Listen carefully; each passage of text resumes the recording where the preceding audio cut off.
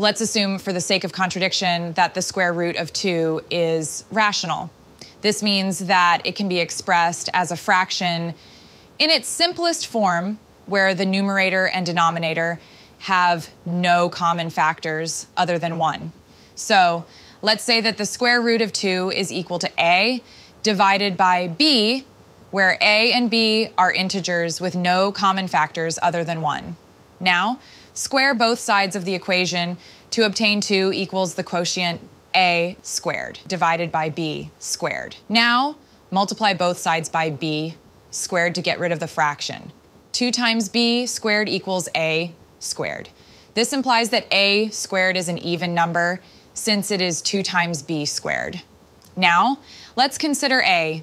If a is even, then a can be expressed as a equals 2 times some integer k.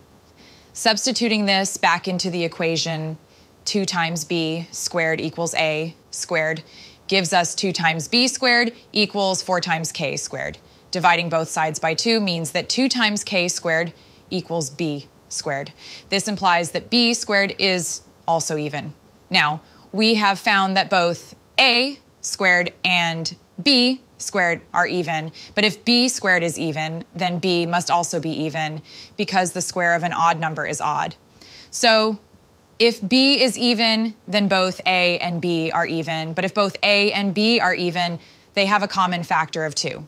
This contradicts our initial assumption that a and b have no common factors other than 1. Since our assumption led to a contradiction, we can conclude that the square root of 2 cannot be expressed as a fraction in its simplest form, and therefore it is irrational.